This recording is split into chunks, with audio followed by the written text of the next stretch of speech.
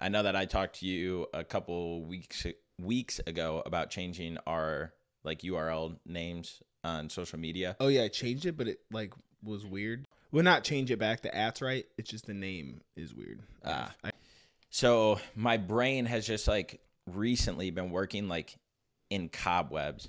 Man, every single time I watch clips back, I hear how many times I say like, and it so do I. fuck. And I'll tell myself not to do it. Like I'll, I, and I'll even try to slow myself down when I'm talking, just so that I'm aware of Yeah. me saying it. But I don't. But then I also listen to other podcasts, and I realize they say it too. Yeah. Like even people who've been podcasting for years.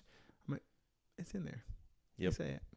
So I'm going to talk about this topic of the cobwebs that my brain's been thinking about, like in, and then remind me um, to come back to your comment about people podcasting for years. And if I forget, say kill Tony, and I'll remember.